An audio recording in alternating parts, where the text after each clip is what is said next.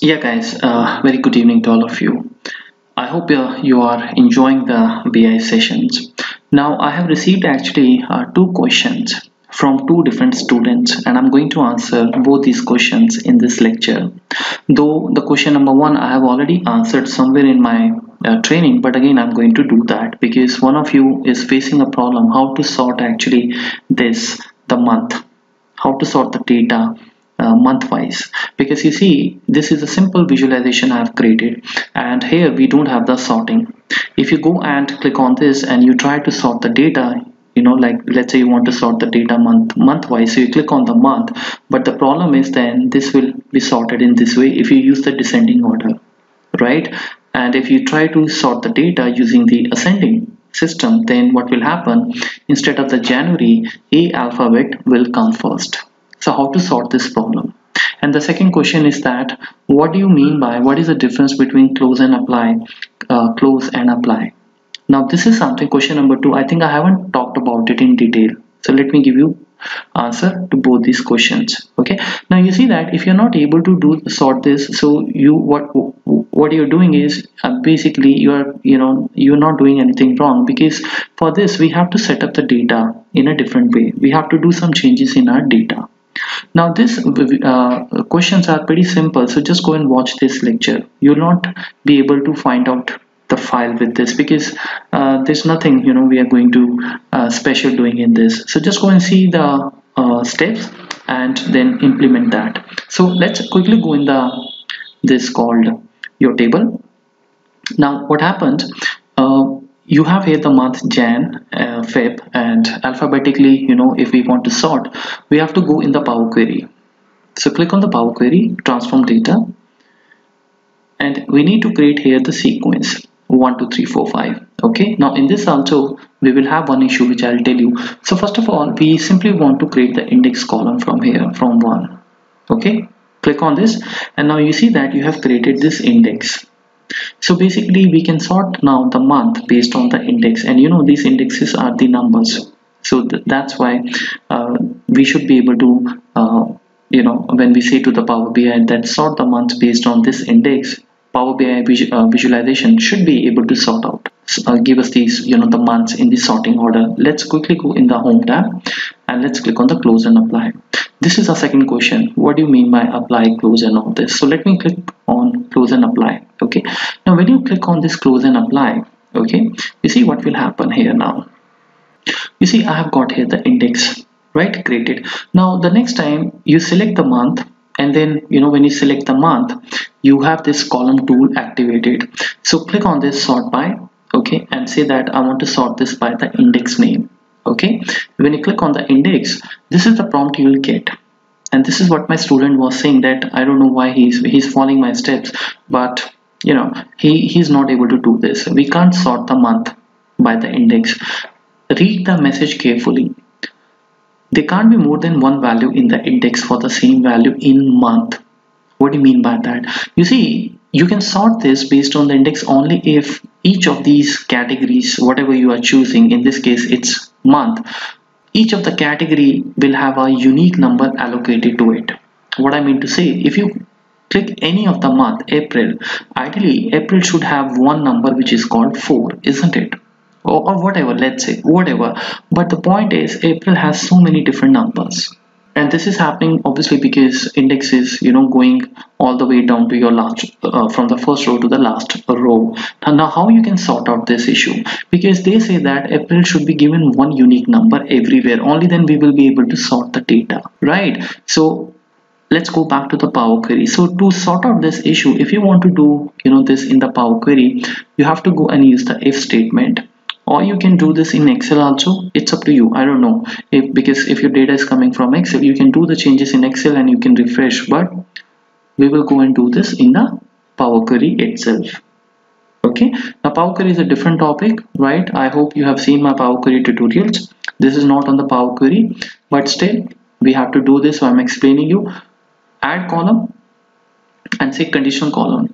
So this is where we actually start writing all the if functions okay? So this this is your window. So first new name is whatever name you want to give. It's up to you. I'll keep this as it is. So quickly let's go and select the month. Okay? And then add this if condition actually. 12 times. Okay? So let me keep on clicking here. This is how it is. And let me just pause the video. But first month equals to let's say Jan. Make sure you are writing the correct case. Very important should be one. Then again in the else if if the month is equals to Feb it should be 2 so for me my data first alphabet is always capital. So this is how we will do it. See this. And let's see that if we will have some issue then we'll handle it. Okay? So you see that I've created all these if functions. You don't need to find write anything in the else right? So all these numbers will be there. Just make sure you write the correct um, this use the correct case okay let's click on ok and let's see that now what happens. So this way now everywhere in your data for every jan there will be a number called 1 previously it was like 1 2 3 4 5 you can see index is still there. So yes I can remove this if you want but this is not going to harm you you know. But you know we can remove this. So I just say that right click and say I don't want this uh, the index column. So I just delete it. Okay? So finally this custom header is there. Now when you go here and you say close and apply. Now let us try to sort the data again.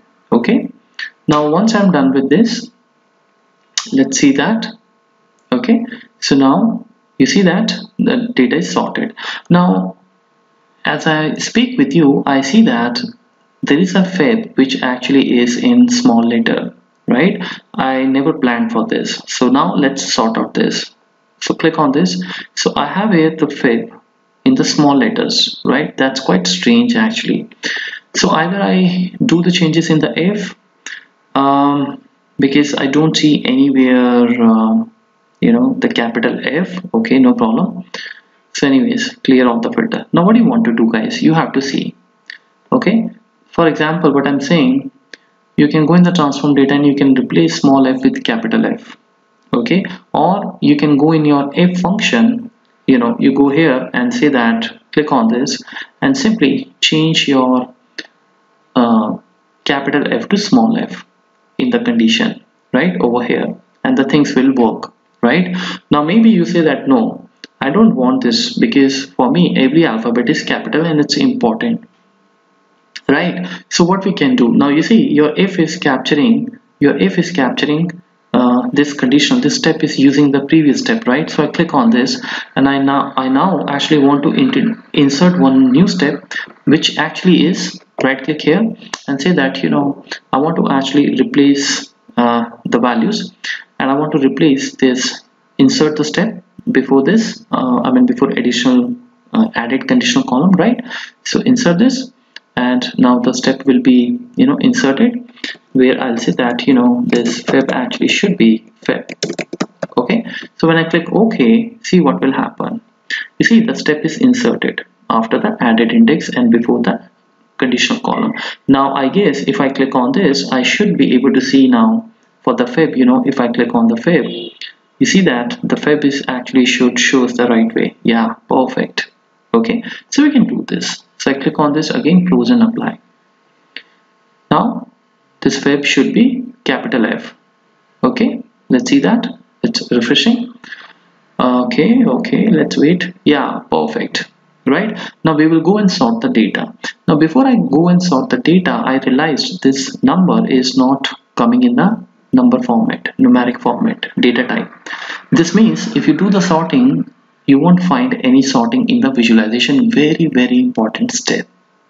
Because this is a text everything is moved on the left side you know.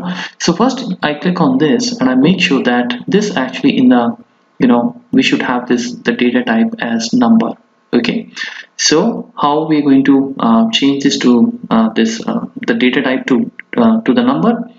Well you can do this in the Power Query. You can do this in the Power Query but I guess uh, if I go in the column tool I can do this over here also. Let me see that so we just say that it's a whole number actually okay? With this data type change your data will be sorted differently. Yeah I'm okay with that right? We want to sort the data based on the numbers. So let's see that if we have the changes here. You see finally the number is aligned. Now you will select your you know that required field called month and then you go in the column tool. You see this is a month right? And data type is text correct? Now we click on the sort by column and I use this custom one. Where is the custom? Yeah this one right so the moment I do that sorting it's working on it. The moment I you know jump back to my visual, uh, visualization I should be able to see the sorted month. Wow fantastic right? So here we saw that there were some challenges came and we sorted out. Beautiful. Now let's go back to the the second question. Now in the second question I was asked that what happens you know about these options if you go in the transform data and you close or you apply right? You see first of all close and apply we all know if you do any changes and you say close and apply so power query window will be closed and changes will be applied on the BI right? Now let's say what I do is I create here a column. I create here index column which starts from let's say some number okay? So let's start this 200 increment has to be 2 for example. I click OK right so when you click OK you see you have this number. Now maybe you are adding here a lot of steps and you are doing some you know uh, kind of uh, analysis. And finally you said that okay I don't want this now. It's okay right? So instead of removing the steps if I let's say simply say that close then what will happen? Those changes will not be saved. So I say close and once you are you know you said that you are out of this okay see that this will ask you do you want to discard the changes or apply? If you apply then that change which you did not do there which you did not save that will be saved. Now I say no I don't want that so I say discard. Okay? So this means that step which you did that will not be shown here. Look at this now. Makes sense right? So let's go back here. However BI still gives you one chance you know if you do not I mean uh, if you do not use the uh, close and save uh, this still asks you that would you like to apply the changes? Right? So you don't have to go back. You can say apply the changes you know and then the changes will be saved. Now you have seen the first thing right? Now what about the another one? Apply. Now apply means that if I again let's say add the column or anything you do it doesn't matter okay? So I say that okay let's say this is the column I have eh, you know applied. Now let's say I'm still working on this okay and I say that home and I say that apply okay. So when you say apply what happens you are not going to be losing this window right? You will still be on the power query window and your changes will also be saved okay. And at the same time if you go in the BI over here right you see that that step is also showing because you have actually said apply right? So this step is actually saved. So if you come back to the BI and if you click on this you find there that you know this starts with zero. You're getting the point okay this way. So if I go back here let's say in the visualization and I try to let's say you know I create a number. For example I now like to use this index. I go and create the index over here in this way okay. Let's say I create here um, some sort of uh, field maybe uh, let's say I create here the age group. Okay. And uh, um, I click on this index and I say that don't summarize for example. You see that? I can use this. Right? However you're still in the Power Query window. Right? So this is something I actually personally on personal front I tell you I never use this I just you know when we work on the Power Query if we have to do some changes we do the changes there and we immediately exit from that. Okay? But let's say you want to apply changes you want to see how the visualization is there so simultaneously you can work on this also you know? And if let's say by chance you're you're you know you don't want that obviously you can remove the steps from here also. Okay? Close and apply we all know what what does it do right? This is something uh, we always 99% time this is what we use close and apply close this save the changes automatically and apply this. Okay? So let me know guys if you have still have any more doubts you know i'm always there to assist you. I hope that uh, this has definitely cleared every every doubt with regards to these questions. Thank you so much